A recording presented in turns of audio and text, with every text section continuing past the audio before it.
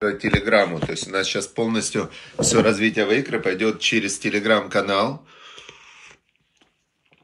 Начнутся дополнительные уроки и вживую, и начнутся дополнительные уроки и вживую, и в онлайне по вечерам для партнера Ваикра, для друзей Ваикра и для спонсора Ваикра. То есть те, кто более серьезно хотят вместе с нами быть партнерами в распространении Торы, будут отдельные уроки. С Божьей помощью мы в ближайшее время объявим, вот как раз через Телеграм это все будет происходить. Так что переходите в Телеграм. Это будет именно в Телеграме. А мы изучаем главу, недельная глава, видите, недельная глава сейчас Вайра, и показался Бог Аврааму. То есть эта глава уже после того, как он сделал союз обрезания, вступил с Богом в личный, индивидуальный контакт через э, обрезание крайней плоти. То есть многие зададут вопрос, а что это Бог выбрал такой странный э, знак, да? Ну, может быть, действительно, он для кого-то странный, потому что мы, понятное дело, это Бог, а это я.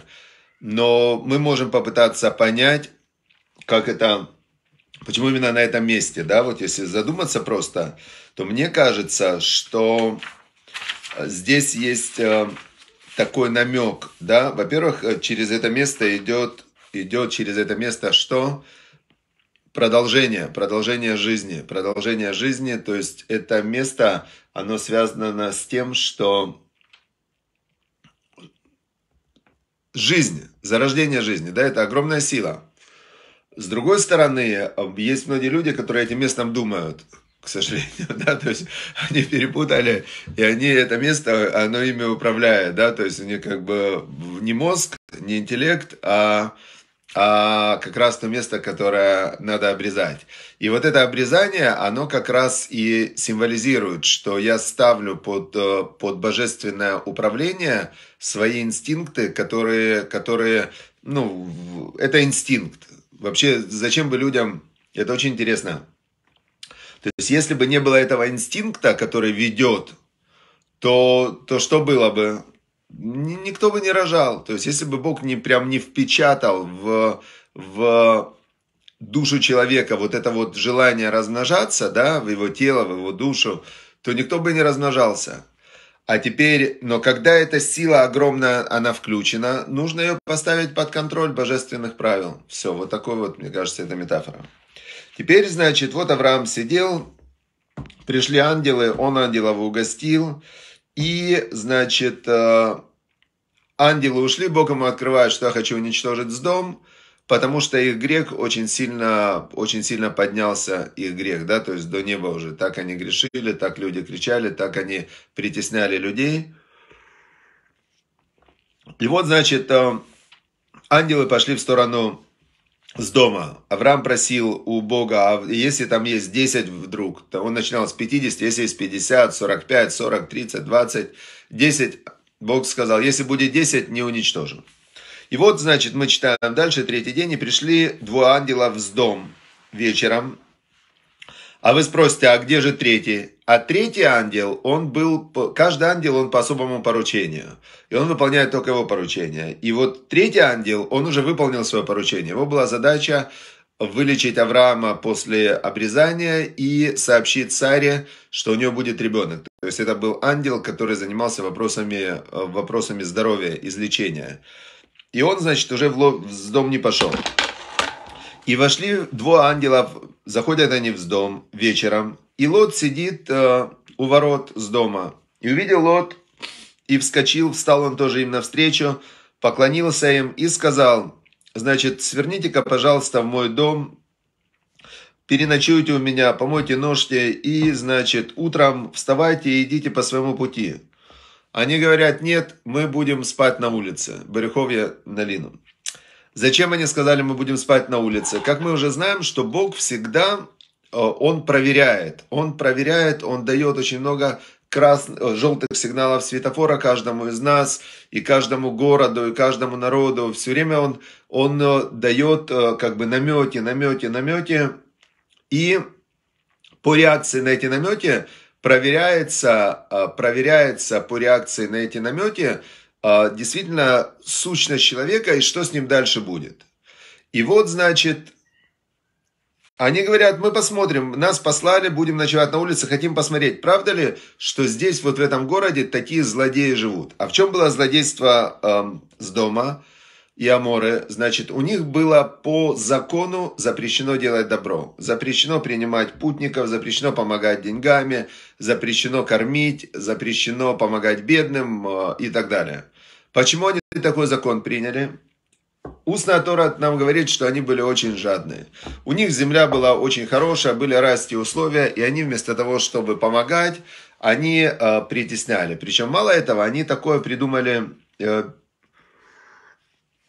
по закону притеснения для путников, что убивали, насиловали, насиловали мужчин там, ну то есть жуткие вещи делали, чтобы слух пошел, чтобы они дальше много не приходили, чтобы люди вообще не приходили к ним. И, значит, э, а эти ангелы говорят, вот мы пришли проверить. Э, значит, он очень начал Лот их просить. Все-таки Лот был из дома Авраама. И он, когда пришел в дом, он пришел, почему его пустили, вы можете спросить. А он уже богатый пришел. Как сейчас страны, которые, например, та же Америка, любая страна, если вы инвестируете какую-то сумму денег в их экономику, они тут же вам дают какие-то паспорт, гражданство, там, условия. Тогда было то же самое. Лот был богатый, он пришел, значит, они говорят, ну, хочешь, живи с нами. Они его пустили. А он был такой образованный, он даже стал у них э, кем-то вроде судьи таких, да. И вот, значит, э, пригласил он их к себе.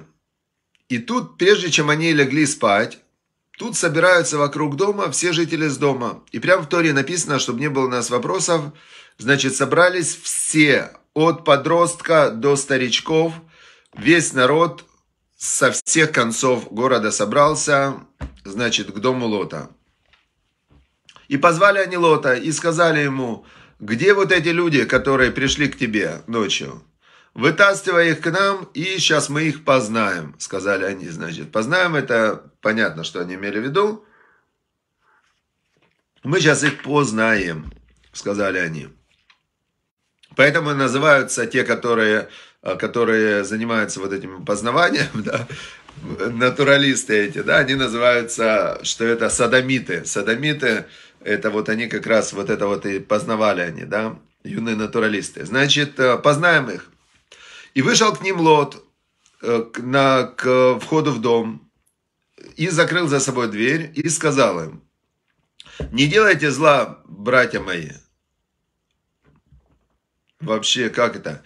И вот у меня, он говорит, две дочки, которые, они не знали еще мужчину, да, то есть э, девственницы. Давайте я их вытащу и к вам, и сделайте с ними, как хорошо в ваших глазах. А только вот этих вот мужчин, этих людей, не делайте им ничего плохого, так как пришли они Значит, пришли они под э, тень моего дома, то есть это мои гости, и многие задают вопрос, почему, почему, значит, э, он отдал дочерей. Есть два, два объяснения разных. Хотел отдать дочерей. Первое объяснение такое, что он не считал это каким-то преступлением. То есть у них, в принципе, разврат у них был узаконен, и он даже не считал, что здесь есть что-то плохое. А, значит, это одно, одна линия объяснений. Вторая линия объяснений, он, э, он э, посчитал так, что сейчас э, он хотел их отвлечь. То есть он не имел в виду, что вот дочки мои, забирайте их. Он говорит, давайте сейчас сделаем лучше две свадьбы. Он их решил отвлечь. Он говорит, понятное дело, что сейчас интересно, ну, вы хотите сейчас этих наказать публично, изнасиловать, тут публичное изнасилование, да. Это, конечно, интересно он имел в виду. Ну вот у меня есть две дочки, давайте лучше две свадьбы сыграем. Это же интересно, это еще будет интереснее. Он их хотел отвлечь этим. Это второе объяснение. Но по тексту написано, что он им это предложил. Значит, э, и сделайте им, как хорошо в ваших глазах, только этих людей не трогайте. Так он сказал. И сказали, о, пришел этот, и пришел он, а сейчас он будет нас судить, рассказывать нам, что делать. И они начали напирать, напирать и решили уже сломать дверь. И тогда эти ангелы, то есть они же были в виде людей, но это все равно были ангелы. начинается, как знаете, как сейчас вот есть фильм там Марвел, да, значит, и послали эти люди руку свою, как голограмма такая из дверей, рука такая выходит, и Лота втягивает в дом. Забрали дом Лота в дом, и дверь закрыли.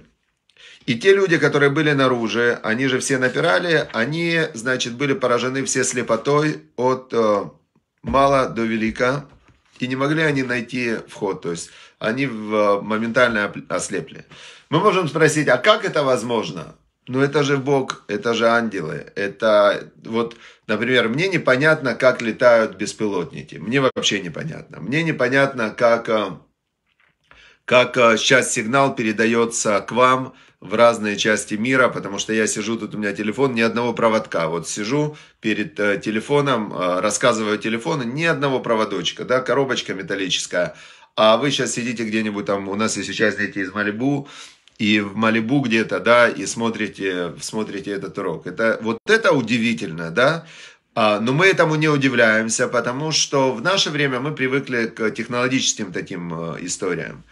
А в то время, когда была более развита духовная жизнь и мистика, магия и так далее, то это было, ну, как бы таким явлением достаточно обычным, да, что было вот это вот, э, большая была связь с духовным миром, были, например, мир был демонов, там, которые тоже присутствовали. Сейчас этого нет. То есть сейчас Всевышний э, поменял нам это все на айфоны. Хорошо. Теперь, значит, э, что было дальше? И сказали эти люди Лоту, сказали эти люди Лоту, ангелы, кто есть у тебя здесь? Э, у него были еще замужние дочери. Давай, забирай всю свою семью. Как, помните, было, как сказали Ноаху, что Ноах спасся со своей женой, со своими сыновьями, женами сыновей. И будем уходить из этого места. Потому что уничтожаем мы это место, и потому что огромный крик к Богу был из этого места, потому что когда людей убивали, когда людей э, уничтожали, тех, которые были путники и так далее, они, естественно, перед смертью очень молились, проклинали и прямо, ну, очень сильно проклинали тех э, людей, кто их убивал. И вот этот крик этих путников, он поднялся ко Всевышнему. Значит, и Бог нам сказал это место уничтожить. И вышел Лот и говорил своим женихам, да, женихам своих дочерей, которые, которые должны были, взяли уже, были у него женихи, а были, которые уже женаты на его дочерях. Пойдемте из этого места, сейчас Бог его уничтожит. И они над ним смеялись. Представляете? И было как Мицахек Беней Хатнав. То есть это мы тоже видим, что ничего не изменилось. Над э, Нохом смеялись, над Лотом смеялись. Все такие очень э, умные и смеются над э, над верующими людьми, но по факту-то оказалось, что когда поднялась заря, и, значит, вытащили эти ангелы Лота, и его жена, которая с ним пошла, и две дочки, остальные все не пошли. Значит, э, ну, в общем, они вышли из города, за город, и спасся Лот, спасся Лот, а жена сказали им, что нельзя смотреть назад. А жена его посмотрела назад и превратилась она в соляной столб. Говорят, что вот э, эти места на Мертвом море, которые... Я, кстати, завтра собираюсь туда ехать. Я оттуда проведу урок, покажу вам эти места. И покажу вам, есть э, такое, как соляной столб. Говорят, что это вот, это жена Лота, да, сохранилась. Но именно то место, где были с дома Амора, сейчас это место Мертвое море. Это огромная впадина, абсолютно мертвое море. Вода с огромным содержанием соли. И это все произошло вот как раз в то время. Значит, э, Лот пытался еще где-то там рядом спрятаться, остаться. Э, значит, э, вот рядом город, я туда побегу. Значит, но все, все уже пошел процесс, то есть пошел, пошел процесс уничтожения. Все, сегодня мы дочитали отрывок. Значит, давайте, какой вывод мы из него делаем? Вывод мы из него делаем следующий. Что Царь Соломон в Каэлите, он говорил такую удивительную вещь, конец первой главы, он говорил, что Беров Хахма Равкас, когда умножается Хахма, божественная ум, мудрость, божественное знание, умножается гнев. В Марбе Дат Марбе Юсиф дат, Юсиф маков. Тот, кто добавляет познание, добавляет боли. Есть такое объяснение, что чем ты ближе к святости, да, то есть чем человек более святой, чем он находится более под прожектором луча Всевышнего, тем больше видны всякие его недостатки. И земля Израиля, которая является святой землей, в ней наиболее быстро и ярко проявляется, когда люди нарушают волю Бога, нарушают э, добро, милосердие и так далее. То есть здесь очень быстро идет отдача. И как в дальнейшем народы, которые населяли землю Израиля, вот эти все кнаанейцы, они были уничтожены и изгнаны отсюда, также в начале и с дома Амора это было как бы такое, как сказать, демонстрация того, что будет с теми, кто нарушает волю Бога в земле Израиля. И вначале был уничтожен с дом, потом было уничтожены кнаанские народы, потом еврейский народ был изгнан для исправления вначале на 70 лет, потом на 2000 лет, да, то есть было два изгнания, одно было 70 лет, это вавилонское изгнание, и потом было 2000 лет последнее изгнание, сейчас уже опять вернулся Израиль на место, то есть мы видим, что, что за неправильные действия, особенно на Святой Земле, есть э, очень серьезная отдача. И э, так оно работает. То есть так оно работает. Бог добрый, Бог э, любящий, но Бог справедливый. И есть э, этот мир, он устроен из причин, следствий, причин, следствий. Поэтому в этой земле нельзя ни в коем случае делать зло. Теперь Лот, он был смешан из добра и зла. Мы видим, что тут он приглашает этих путников, но в, в то же время он живет в этом доме, где этих путников убивают. Тут он спасает их самоотверженно и говорит, что просто вообще ничего им не делайте, выходит против всего города. И в то же самое время он говорит, возьмите моих дочек, делайте с ним, что хотите. По первому комментарию, это он предлагал заняться с ними развратом. То есть мы видим, что в каждом человеке и в каждом городе, в каждом народе э, переплетаются, переплетаются, то есть нет однозначно белого, однозначно черного. Как опять же говорил царь Соломон, нет садика, который бы не, не грешил. И что садик? Да, по-моему, так он говорил. И царь Давид говорил, семь раз э, цадик упадет и встанет, а злодей раз упадет и не встанет. То есть э, то, что ты стремишься к Богу и то, что ты выполняешь заповеди, оно никак не гарантирует, что ты будешь полностью в постоянно идеален. И это надо знать и понимать. И есть один лайфхак, который я очень себе как бы очень за ним наблюдаю и стараюсь, чтобы, ну, хочу его передавать людям, что так как э, каждый из нас несовершенен в служении Всевышнему и выполнении заповедей, то очень важно та мера, которой э, человек меряет другим, меряет ему с неба. И мы удивляемся, одни люди сильно страдают, а другие меньше страдают. Одним везет, другим не везет. Это очень сильно зависит от э, твоего исходящего сигнала, которым ты оцениваешь окружающий мир. То есть, если у тебя Айнтова добрый глаз, если у тебя доброе сердце, если ты судишь все с хорошей стороны, оптимизм и так далее. То есть, если ты э, сам лично вы, создаешь сигнал вот этот вот добра, то как бы ты можешь ожидать, что та мера, которую человек меряет, меряет ему. Поэтому, поэтому очень важно сосредоточиться на, на том, чтобы производить внутри как можно больше добра, добра, добра, что, которое выражается улыбка, приятный голос, добрые слова людям э, и так далее. И даже если кто-то что-то делает неправильно с вашей точки зрения, то то когда мы делаем, когда вы делаете что-то неправильно, то всегда мы найдем себе объяснение, да, что, ну, мало ли, я же все равно старался, я делаю правильно, кто сказал, что это правильно, кто сказал, что это неправильно. То есть э, лучше всего не судить. Всевышний, вот он безусловно знает, где добро, где зло, и с каждым он поступит соответственно, прямо секунда в секунду, миллиграмм к миллиграмму, соответственно его поступку. И как бы решать чужие вопросы мы не можем. Всевышний решит все вопросы в этом мире. Но решать свои вопросы, своего личного добра, своего личного служения Всевышнему, своей личной молитвы, э, это мы можем. Поэтому очень важно сфокусироваться на том, чтобы, э, чтобы именно свой градус позитива, свой градус любви, свой градус добра, добра поднять, поднять выше, выше, выше, и с Божьей помощью все это вернется в десятикратной среде, в десятикратном размере. Все, всем удачи успехов, чтобы Всевышний выполнил ваши молитвы. Сегодня урок, чтобы было рифа, шлема, полное выздоровление Мойши бен Рита, Мойши бен Ирина, Рита Бадбася, значит, и все выздоравливающие, все, за кого вы молите, что Бог услышал ваши молитвы и выполнил их для вашего блага. Все. До завтра. Завтра в 10 э, утра с Божьей помощью урок. И мы сейчас, вот как раз мы сняли офис для Ваикры, будем делать отдельные уроки для партнера Ваикра, для друзей Ваикра, для, для спонсора Ваикра. Будем стараться сделать для них еще большую возможность для совместного служения Всевышнему. Все, поэтому присоединяйтесь к друзьям Ваикра, партнерам Ваикра и спонсорам Ваикра. Все, удачи, успехов в, во всех хороших делах.